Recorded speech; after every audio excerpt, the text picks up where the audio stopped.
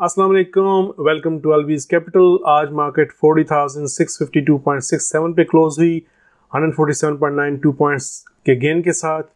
और आज वॉल्यूम जो थे वो बहुत ही कम थे।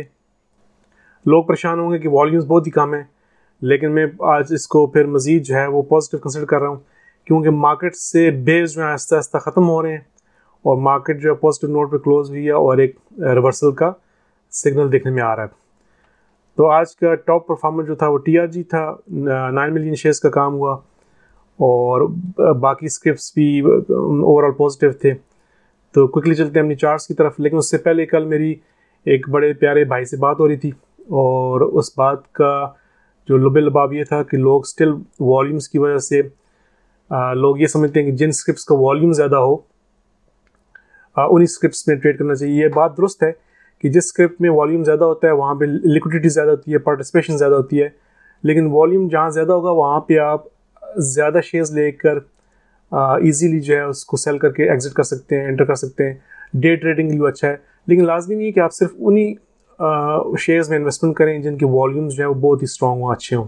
बाकी भी बहुत सारे ऐसे स्क्रिप्ट होते हैं जो कि कम वॉल्यूम्स के साथ भी आप उनमें स्विंग ट्रेड कर सकते हैं। और इवन के कई ऐसे स्क्रिप्ट हैं जो कि मार्केट जो है वो नेगेटिव हो रही होती है लेकिन वो पॉजिटिव होते हैं। उसकी मैं कुछ आपको आज एग्जांपल दूँगा। अगर हम क्विकली देख लें कि ये चार्ट है मिचल्स का। मिचल्स ने एक पावर प्ले शो, शो किया from twenty first of September onward एक ज़बरदस्त पावर प्ले था। पावर प्ले असम में क्या होता है? पावर प्ले ये होता है कि जब प्राइस जो है वो ट्वेंटी डे मूविंग एवरेज के नीचे क्लोज होती है और और 200 डे मूविंग एवरेज के नीचे क्लोज होती है। तो ये 200 डे मूविंग एवरेज यहाँ पूरी शो नहीं हो रही इस पर डेली चार्ट मिचेस पे लेकिन जब प्राइस जो है वो 20 डे मूविंग एवरेज की अगर 50 डे मूविंग एवरेज के नीचे क्लोज होती है और उसके बाद एक ज़बरदस्त प्राइस मोमेंटम के साथ उसको कट करके ऊपर जाती है और ऊपर जा क्लोज होती है वहीं सस्टेन करती है तो उसके बाद एक पावर प्ले शो, शो होता है। तो ये पावर प्ले अगर आप ये देखें जैसे ये तीन उंगलियाँ नज़र आ रही हैं तो उसी तरह आपकी ट्वेंटी डे मूविंग एवरेज और प्राइस सबसे ऊपर होती है, दरमियान में ट्वेंटी डे मूविंग एवरेज, उसके नीचे फिफ्टी डे मूविंग एवरेज, और फिर उसके नीचे two hundred day moving average. अगर आप फिफ्टी डे मूविंग एवरेज ना भी यूज़ करें तो two hundred and twenty day moving average, और उस ऊपर प्राइस। तो ये इन तीन उंगलियों की तरह, जब प्राइस इस तरह ऊपर जाना शुरू होती है तो उसको पावर प्ले कहते हैं। तो ये ज़बरदस्त मोमेंटम होता है। This is the right time to get into market for higher profits तो अगर आप देखें सितंबर में तो मिचल्स जो है, उसने यहाँ से एक ब्रेकआउट शो किया। ट्वेंटी टू में एवरेज के ऊपर प्राइस क्लोज हुई पावर प्ले शुरू हुआ। और इस पावर प्ले इतना स्ट्रॉन्ग था कि ट्वेंटी फ़र्स्ट सेप्टेम्बर से लेकर अब तक ये पावर प्ले काफ़ी ऊपर गया, अब प्राइस थ्री हंड्रेड प्रेशर आई है। लेकिन अगर आप ट्वेंटी फ़र्स्ट ऑफ़ सेप्टेम्बर जब से शुरू हुआ, उस वक्त अगर आप देखें के एस सी हंड्रेड को तो के एस सी हंड्रेड सितंबर में उस वक्त नेगेटिव थी। तो जब के एस सी हंड्रेड नेगेटिव थी तो लोग चूँकि के एस हंड्रेड को फॉलो करते हैं तो उस वक्त लोगों ने यहाँ पे पैनिक सेल की होगा, लोगों ने पोजीशन क्लोज की होंगी। लेकिन उस वक्त पर्सनली जो है, मैं मैं इस शेयर में मैंने पोजीशन ली थी। और इवन दो कि इसके वॉल्यूम्स बहुत कम होते हैं, अगर आपने इसको मैं वॉल्यूम्स दिखाऊँ, अगर हम ये चले जाएँ मिचल्स का, ये ये तो शजान है, अगर हम मिचल्स में चले जाएँ तो मिचल्स में आप देखें सितंबर में जब ये पावर प्ले शुरू हुआ तो वॉल्यूम पहले डेली वॉल्यूम थे थाउज़ेंड हंड्रेड लेकिन जो ही पावर प्ले शुरू हुआ और ब्रेकआउट हुआ तो वॉल्यूम बढ़ने लगे। Two thousand two hundred seven thousand eight hundred nine thousand seven thousand फिर ट्वेल्व थाउज़ेंड तक गया, फिर फाइव थाउज़ेंड नाइन हंड्रेड तक। ठीक है? लेकिन उसमें आप देखें कि रोज़ जो है वो पंद्रह रुपये सत्रह रुपये अठारह रुपये उन्नीस रुपये इक्कीस रुपये इस तरह शेयर की वैल्यू बढ़ रही है। ठीक है? फिर और ऊपर चलते जाएँ, बीच में थोड़ा नेगेटिव सेशन आए तो वॉल्यूम जो थे जहाँ पे हज़ार सौ इस तरह वॉल्यूम थे, वहाँ से एकदम वॉल्यूम बढ़ना शुरू हो गए। फिर अगर आप अक्टूबर में आ जाएँ, फिर टू थाउज़ेंड सिक्स हंड्रेड ऐसे अगर, और अगर हम इसमें अभी करंट इसके वॉल्यूम्स देख लें, नवंबर में तो वॉल्यूम कीजिए, जब दोबारा से यहाँ पे अक्टूबर में दोबारा ये शुरू हुआ पावर प्ले तो फिर जो है volume sixteen thousand sixteen thousand twelve thousand thirteen thousand लेकिन आप देखें तीस रुपये बत्तीस रुपये पैंतीस रुपये रोज़ ऐसे बढ़ रहा है, ठीक है? जब आप एक पैटर्न को आइडेंटिफाई कर लें, और आप उसको, आप शोरों की जैसे वहाँ से पावर प्ले शुरू हो चुका है। उसको आप आइडेंटिफाई कर लें। और यहाँ पे आप पोजीशन ले सकते हैं, क्योंकि टेक्निकली आपको बता रहा है कि इस स्ट्रॉन्ग अपर मोमेंटम तो अगर आप थाउज़ेंड शेयर्स भी ले लेते बिल फ़र्ज़ अगर आपने जब से ये पावर प्ले शुरू हुआ और प्राइस क्लोज हुई, और आप ये 228 पे एंटर होते या 245 पे एंटर होते, और 245 पे एंटर होके आप 546 पे एग्जिट कर सकते थे। और कुछ आप यहाँ प्रॉफिट ले लेते, अगर आप थाउज़ेंड शेयर्स लेते तो 500 को यहाँ पे आप प्रॉफिट टेकिंग कर लेते। और उसके बाद 500 को आप यहाँ पे फाइव फोर्टी सेवन के एरिया में जाके प्रॉफिट टेकिंग कर सकते थे। तो बीच में, ऐसे पावर प्लेस में बंदा बीच में प्रॉफिट टेकिंग के बाद दोबारा एडिशन भी कर सकता है। तो लाजमी नहीं होता कि हमने टेन थाउज़ेंड या ट्वेंटी थाउज़ेंड या फिफ्टी थाउज़ेंड शेयर्स ही लेने हैं। बज़ दफ़ा कई शेयर्स में जो, जहाँ पे अच्छा आपको टेक्निकल सिग्नल मिलता है उसमें भले वॉल्यूम कम भी हो तो बंदा उसमें कम पैसे लगा के अच्छा प्रॉफिट कमा सकता है। एक तो ये शिजान का था कि जब मार्केट जो है वो नेगेटिव जा रही थी, लेकिन मिचेस में ये पावर प्ले शुरू शुरू हो गया था और इसमें अच्छे पैसे कमाए जा सकते थे। इसी तरह अगर इसका दूसरा देख लें जिस दूसरे फ़ूड सेक्टर ने इसको फॉलो किया, वो था शेजान शेजान में भी जब सितंबर में पावर प्ले शुरू हुआ और फिर दोबारा लेट सितंबर में पावर प्ले शुरू हुआ तो उस वक्त सितंबर में जो के एस हंड्रेड था, वो एक डाउन ट्रेंड में था। लेकिन आप इस ट्वेंटी डे मूविंग एवरेज के ऊपर जो स्पोर्ट लेके प्राइस यहाँ से जो ऊपर मूव कर थी, अगर ट्वेंटी फिफ्थ सितंबर से भी अगर टू फोर्टी थ्री पे आप थाउज़ेंड शेयर्स लेके इसमें एंटर हो जाते तो आप थ्री थर्टी तक ईजिली इसमें रह सकते थे। अगर with minimum thousand shares fifteen hundred shares क्योंकि अगर इसका हम देखें वॉल्यूम्स देखें शिजान के सितंबर के। तो देखें सितंबर में, जब अर्ली सितंबर में पावर प्ले शुरू हुआ तो वॉल्यूम थे फोर थाउज़ेंड थ्री थाउज़ेंड लेकिन फ़ौरन जो है वो eleven thousand twenty four thousand sixty three thousand में वॉल्यूम चले गए। तो इन वॉल्यूम्स में अगर आप thousand shares two thousand shares लेते हैं तो आप इजीली एग्जिट कर सकते हैं। लेकिन आप देखें कि टू थाउज़ेंड शेयर्स के साथ आपका रोज़ सिक्सटीन रुपीज़ सेवनटीन रुपीज़ का रोज़ इजाफा हो रहा है।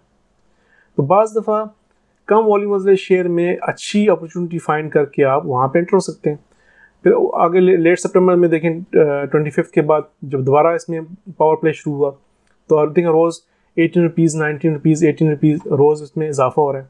और जो वॉल्यूम है नॉर्मली वॉल्यूम रहता है थ्री थाउज़ेंड फोर थाउज़ेंड लेकिन उन दिनों में twelve thousand twenty six thousand fifty eight thousand thirty thirty two thousand तो इन शेयर्स में इन दिनों में अगर आप फाइव हंड्रेड शेयर्स भी लेते हैं और या थाउज़ेंड शेयर्स भी लेते हैं तो you can make more profit with less portfolio exposure सिर्फ़ आपने टेक्निकली पावर प्ले को आइडेंटिफाई करना है और राइट टाइम पे राइट एंट्री लेनी है और राइट टाइम पे एग्जिट करना है।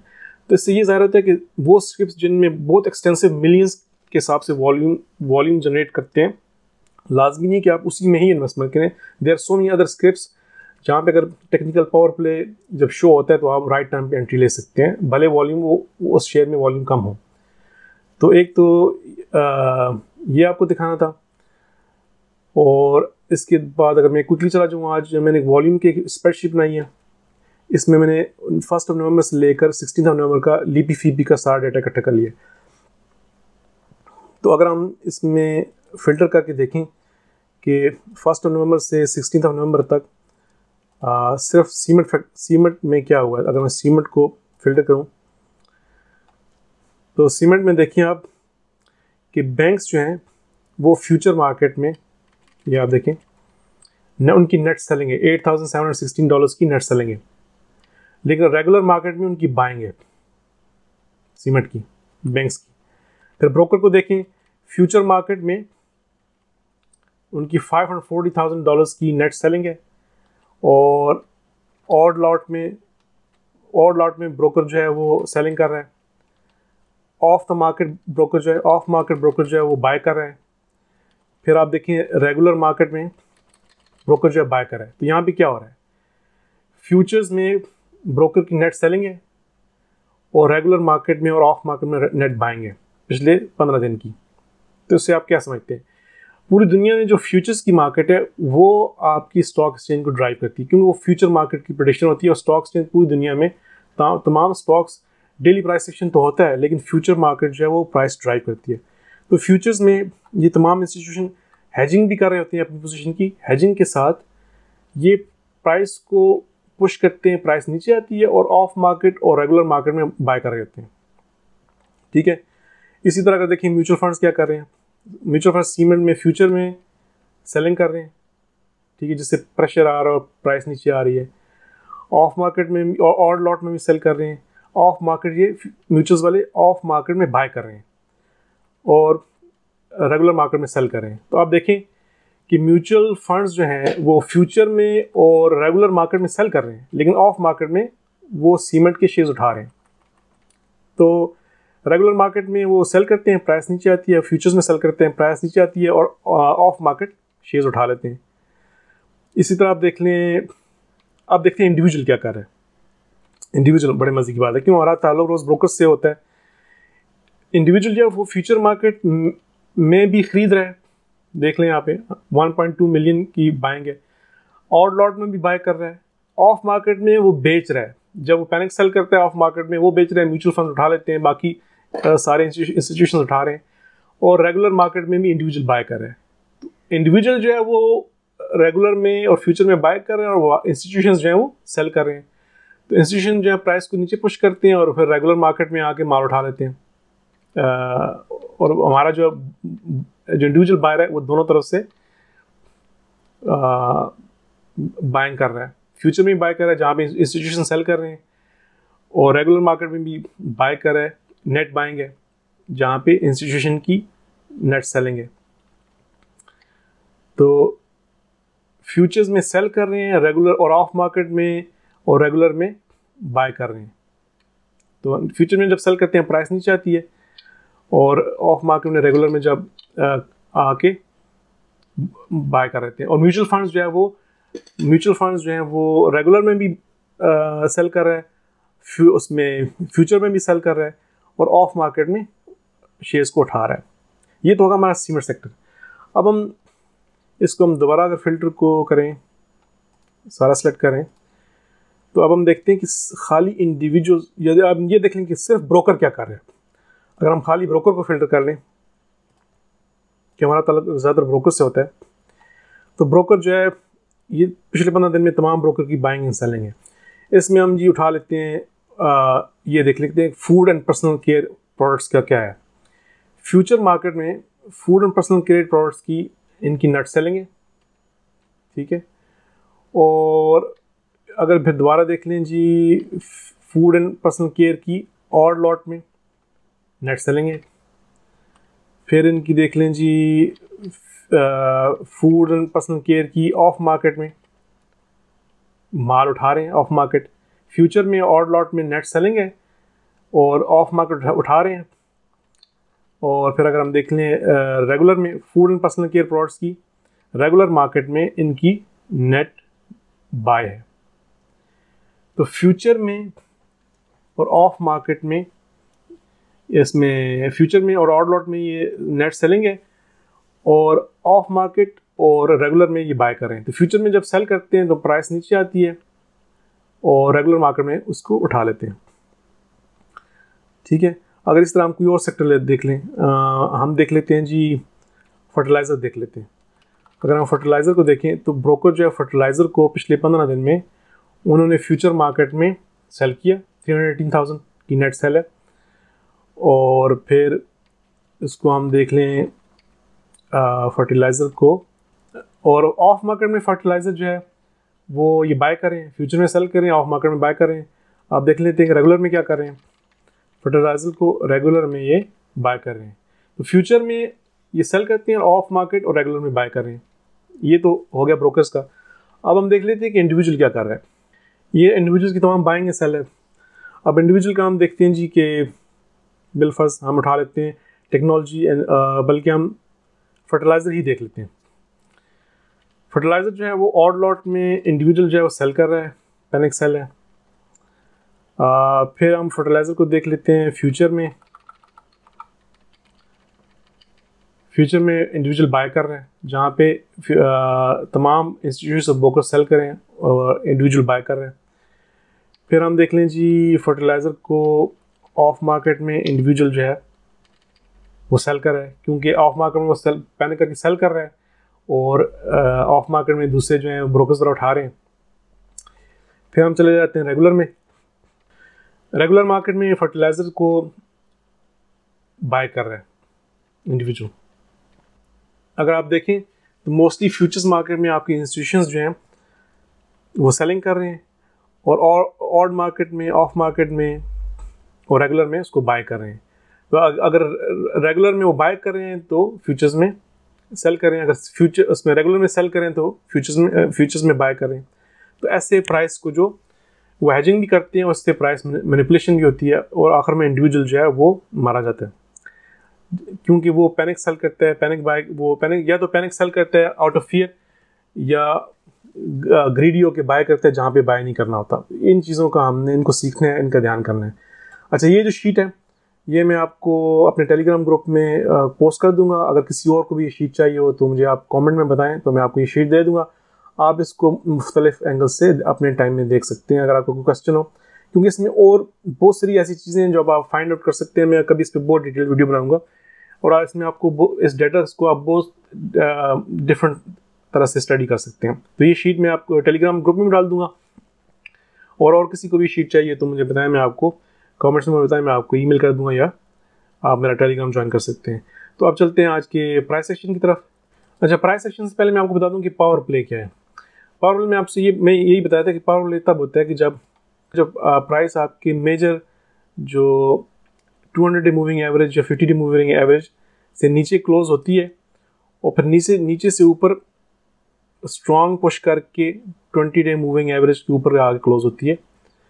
और उसके बाद जैसे मैंने आपको पहले बताया, ये देखें जैसे ये थ्री फिंगर्स हैं, इस तरह का पावर प्ले बनता है कि प्राइस ऊपर चली जाती है, बीच में ट्वेंटी डे मूविंग एवरेज होती है और नीचे आपकी फिफ्टी डे या टू डे मूविंग एवरेज होती है।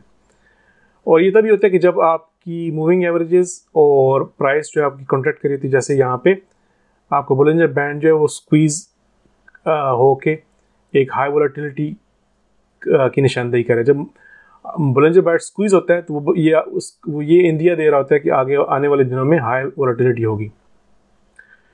तो जब ये जो ही पावर प्ले शुरू होता है, उसके बाद अगर हम यहाँ पर एंट्री ले लेते हैं, जैसे अगर हम, आपने फ़र्स्ट ऑफ़ जुलाई को एंट्री ले ली होती तो आप फ़र्स्ट ऑफ़ जुलाई से एंट्री होकर ट्वेल्थ ऑगस्ट तक आप इजीली बगैर कुछ किए, आप बैठ के आराम से अपना stop loss trailing stop loss ऊपर करते जाते और अपना प्रॉफिट को मैक्सिमाइज करते रहते हैं। तो पावर प्ले का ये फ़ायदा होता है। तो अब जहाँ पे हमारी प्राइस इस वक्त जो यहाँ पे क्लोज हो रही है तो यहाँ पे क्या है कि आपका twenty day moving average converge कर रहा है और फिफ्टी डे मूविंग के एवरेज के नीचे है। यहाँ से प्राइस अगर इसको पुश करती है ऊपर, और ये इसको नीचे से फिफ्टी डे मूविंग एवरेज को ऊपर कट करता है ऑन अ डेली चार्ट और twenty day moving average fifty fifty day moving average के ऊपर जाएगी ई एम आपको ऑलरेडी नीचे है और ये प्राइस नीचे से ऊपर कट करके जब ट्वेंटी डे के ऊपर जाके क्लोज होती है वहाँ सस्टेन करती है, आने वाले दो दिन में या तीन दिन में तो वहाँ से एक आगे नया पावर प्ले शुरू होगा। हो सकता है वो दो हफ़्ते जारी रहे, तीन हफ़्ते जारी रहे, एक हफ़्ता जारी रहे।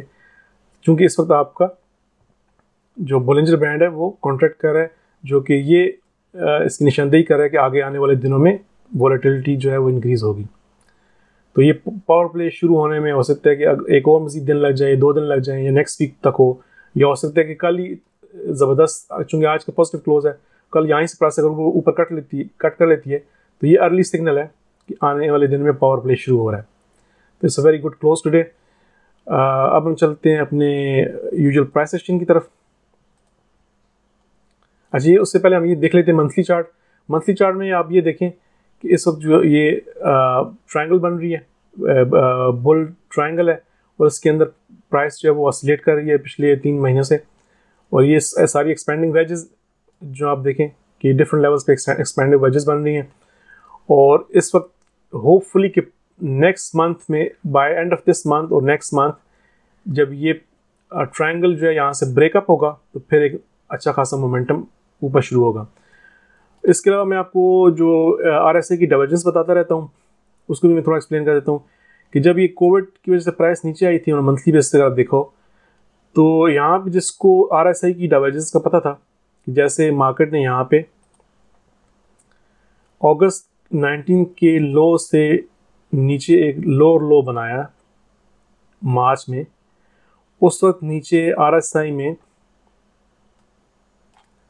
अगर आप देखें मार्केट ने एक हायर लो बनाया। तो दिस वॉज़ क्लियर डाइवर्जेंस तो जब प्राइस नीचे गिर के मार्च में यहाँ पे आई होगी, आके यहाँ पे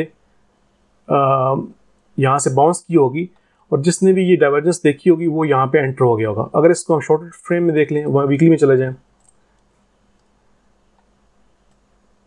तो जिसको ये डाइवर्जेंस का पता था, यहाँ से लोअर लो बनाया, और आर एस एक हायर लो बनाया यहाँ पे वीकली में। आर एस ने एक हायर लो बनाया है। और यहाँ पे लोअर लो बना है। तो ये जो वीक क्लोज हुआ था ट्वेंटी थर्ड ऑफ़ मार्च को जिसको इस डाइवर्जेंस का पता था उसने थर्टी ऑफ़ मार्च को एंट्री ले ली होगी और फिर वो थर्टी ऑफ़ मार्च की एंट्री आ, से उसने आके प्रॉफिट टेकिंग की होगी सेवन्थ ऑफ़ सितंबर को या उसके बाद उसने अपना थोड़ा ऑफलोड किया होगा सेवनटीन ऑफ़ अगस्त को। ठीक है? कुछ लोग जो टेक्निकली स्ट्रांग नहीं होंगे वो फिफ्टीन जून को भी उन्होंने थोड़ा ऑफलोड किया होगा। लेकिन this was a trend reversal signal early signal तो इसलिए मैं आपको कहता हूँ कि ऑन अ डेली बेसिस आपको देखना चाहिए कि कहाँ पे लोअर लो बन रहा है, कहाँ पे हायर लो बन रहा है। आर आई सी में कोई डाइवर्जेंस तो नहीं है। और अगर आपको डेली और वीकली और मंथली चार्ट्स पे डाइवर्जेंस मिल जाए, जैसे मंथली चार्ट पे हमें डाइवर्जेंस मिली है कोविड के बाद that was a perfect time to enter into market ठीक है? तो ये तो मंथली चार्ट को हमने क्विकली देख लिया। अब हम चले जाते हैं डेली चार्ट पे। अच्छा इससे पहले हम ये देख लेते हैं, जो हम पिछले दो तीन दिन से देखते हुए आ रहे हैं, कि थर्टीन ऑफ़ नवंबर को नीचे जो रेयर प्राइस सेक्शन बना था इवन को दो की फाइव फाइव मिनट्स चार्ट्स में मैंने आपको एक्सप्लेन किया था, लेकिन इतनी अनसर्टेनिटी में देखें कि ये प्राइस सेक्शन जो था, वो स्टिल वैलिड है, कि इससे नीचे टू सेवन फोर सेवेंटी से नीचे प्राइस नहीं आई, बल्कि कल ये जो बुल फ्लैग मैंने कहा था ये बुल फ्लैग बन रहा है और पोस्ट क्लोजिंग ये फ्लैग का जो चैनल था वो ब्रेक हो गया था और प्राइस बायर क्लोज हुई थी। तो मैंने कहा था कि हाईली लाइकली कि प्राइस यहाँ से ऊपर खोल के इस चैनल को टेस्ट करेगी। लेकिन प्राइस इतनी स्ट्रॉन्ग खुली है कि almost hundred and eighty plus points के साथ प्राइस जो है वो ऊपर खुली है, फिर ऊपर जाके मार्केट ने पुश किया है। तो इस बुल फ्लैग को भी ब्रेक किया, इस चैनल को भी ब्रेक किया। मार्केट जब ऊपर पहुँची है तो मार्केट ने पीछे आके ट्वेंटी सिक्स ऑफ़ अगस्त का जो गैप बनता है, अगर हम थोड़ा पीछे चले जाएँ। अच्छा मार्केट ने आज पीछे आके ये ट्वेंटी सिक्स ऑफ़ अगस्त में जो गैप अप हुआ था मार्केट ने आके वो गैप अप क्लोज किया, जहाँ से ट्वेंटी सेवन ऑफ़ अगस्त की प्राइस ओपन हुई थी, और ट्वेंटी सिक्स ऑफ़ अगस्त पे क्लोज हुई थी। तो मार्केट ने ये गैप फिल किया, और वापस मार्केट आके इस वक्त फोर्टी थाउज़ेंड सिक्स फिफ्टी पे क्लोज हुई है, जो यहाँ क्या ट्वेंटी सिक्स का बिफोर क्लोजिंग एक लो बनता है, जहाँ से प्राइस को रिजेक्शन मिली थी और प्राइस ऊपर गई थी। तो एक स्ट्रॉन्ग सपोर्ट लेवल है। ये हाई कन्फ्लुएंस जोन बन रहा है। फोर्टी थाउज़ेंड सिक्स फिफ्टी का जो एरिया है, इसका स्ट्रॉन्ग सपोर्ट है। जैसे ये ट्वेंटी नाइन्थ सितंबर का भी कंसल्टेशन जोन है। फिर यहाँ पे जो सप्लाई जोन बनता है तो ये काफ़ी अच्छी स्ट्रॉन्ग सपोर्ट है। अभी जो है मार्केट जो है, इस वक्त ट्वेंटी नाइन्थ अक्टूबर को जहाँ प्राइस ओपन हुई थी, उस एरिया में जाके आके मार्केट क्लोज हुई है।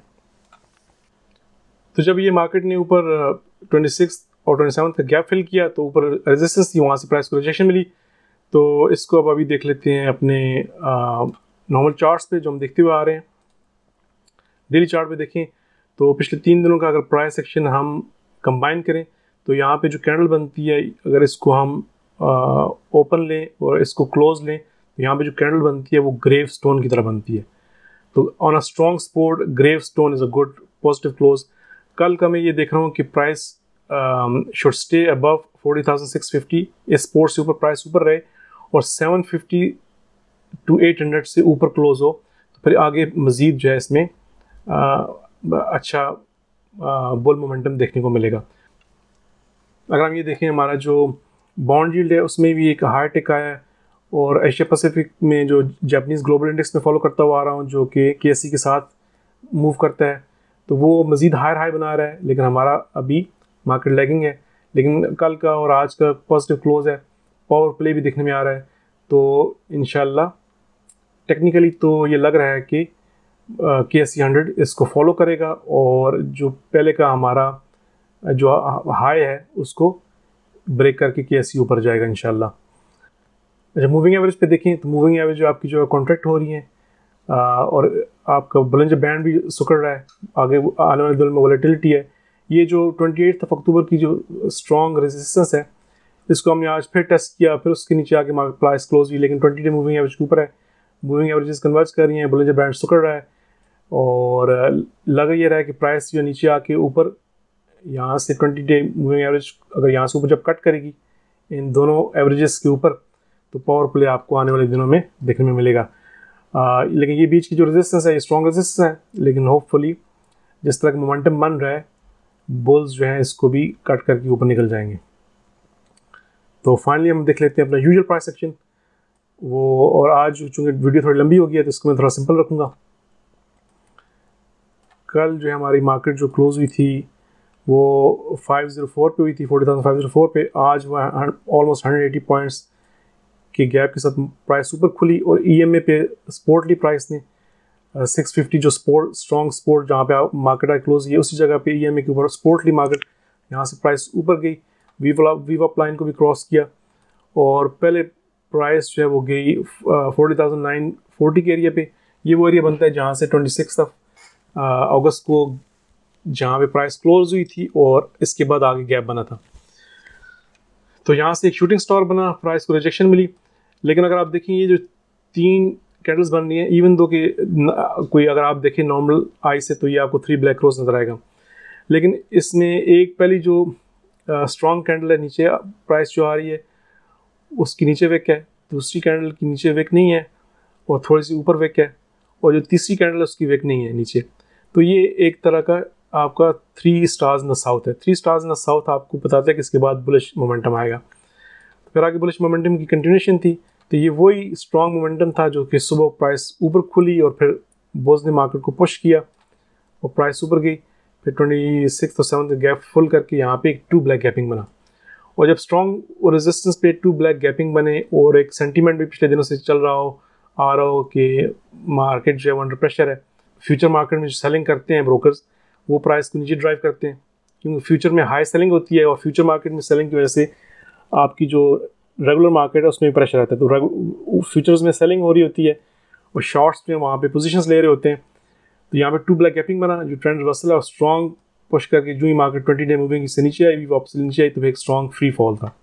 It was a good move for short sellers from है लेकिन मार्केट ने नीचे आके जो सिक्स हंड्रेड पे आके मार्केट ने स्पोर्टली प्राइस ने दोबारा ऊपर पुश किया और पोस्ट क्लोजिंग जो है वो स्ट्रॉन्ग सपोर्ट पे मार्केट क्लोज हुई सिक्स फिफ्टी के एरिया पे। तो it's a positive close even though के सेकेंड हाफ़ में प्राइस काफ़ी नीचे आई शॉर्ट्स वर इन कंट्रोल लेकिन बात वही है जैसे मैं, मैंने अभी अभी आपको वॉल्यूम्स में दिखाया कि आपके ब्रोकर्स म्यूचुअल फंड्स बैंक्स सब फ्यूचर में सेल कर रहे होते हैं। सारे फ्यूचर्स में सेल करते हैं और प्राइस को नीचे पुश करते हैं और रेगुलर मार्केट में और ऑफ़ ऑफ़ मार्केट में वो बाय कर रहे होते हैं। तो यहाँ पे जो हमारा इंडिविजुअल सेलर है, वो जो ट्रैप हो जाते हैं, वो पैनिक सेलिंग भी करते हैं। और जहाँ पे वो हमारे म्यूचुअल्स फंड और ब्रोकर्स जहाँ पे वो सेल कर रहे हैं, वहाँ पे हम फ्यूचर्स में हम इंडिविजुअल भी जो है वो बाय कर होते हैं। तो खैर, ये आप इसको वॉल्यूम्स में हम मज़ीद और भी वीडियोस बनाएँगे कि वॉल्यूम्स को इंटरप्रेट करने के बहुत सारे डिफरेंट तरीके हैं, जिससे आप और मज़ीद इसको आप सीखेंगे। तो आज के लिए यही है। अगर आपको मेरी वीडियो अच्छी लगी हो तो इसको ज़रूर लाइक करें चैनल को सब्सक्राइब करें, इसको शेयर करें। और आपका कोई कमेंट हो कोई आप क्रिटिकल एनालिसिस और मेरी वीडियोस के बारे में तो ज़रूर शेयर करें अपनी थाटफुल ओपिनियन जो आज की मैंने आपको स्प्रेडशीट बताई थी वॉल्यूम्स की वो मैं आपको शेयर कर सकता हूँ अगर आप मुझे कमेंट में बताएँ और टेलीग्राम में मैं तो शेयर कर दूँगा। तो आज के लिए यही है कल मिलते हैं एक नई वीडियो के साथ। आज का पॉजिटिव क्लोज है और आ, मुझे नज़र आ रहा है कि आने वाले कुछ दिनों में एक पावर प्ले बनने वाला है। पावर प्ले मैंने आपको दिखा दिया है कैसा होता है। तो आज के लिए यही है। कल मिलते हैं वीडियो के साथ। इंशाल्लाह, तब तक के लिए अल्लाह हाफिज़।